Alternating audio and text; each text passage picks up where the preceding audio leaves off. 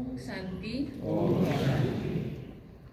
इस कार्यक्रम में उपस्थित राजयोगिनी बी के जयंती जी, राजयोगी B K Brijmohan ji, doctor Mohit Gupta ji, राजयोगिनी बी के सुदेश जी, राजयोगिनी बी के पुष्पा जी, राजयोगिनी बी के आशा जी, आदरणीय संत समाज प्रजापिता ब्रह्मा कुमारी परिवार के सभी सदस्यगण गणमान्य अतिथियों देवियों और स्वजनों।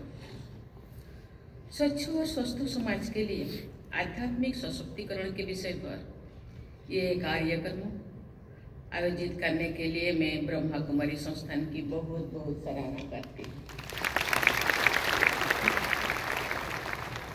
ब्रह्मा कुमारी संस्थान आध्यात्मिक बंधुता के विस्तृत और सुदृढ़ आधार पर खड़ा है। जो पंथ और धर्म की परिभाषाओं से सीमित नहीं होता इस संस्थान द्वारा अक्टूबर 2023 में राष्ट्रपति भवन में इंटरफेथ मीट का आयोजन किया गया था। उस आयोजन का उद्देश्य था प्रेम, कल्याण, शांति, पवित्रता, सत्य और अहिंसा जैसे उन आध्यात्मिक मूल्यों पर प्रकाश डालना जो सभी धर्मों में विद्यमान है। वसुधैव कुटुंबकम की भावना के अनुरूप ब्रह्मा कुमारी संस्थान ने एक ईश्वर, एक विश्व परिवार की चेतना को विभिन्न देशों और संस्कृतियों में प्रसारित किया है। ईश्वर एक है और मानवता भी एक ही है। एकता ही ये आध्यात्मिक चेतना स्वच्छ और स्वास्थ्य समाज की पहचान होती है।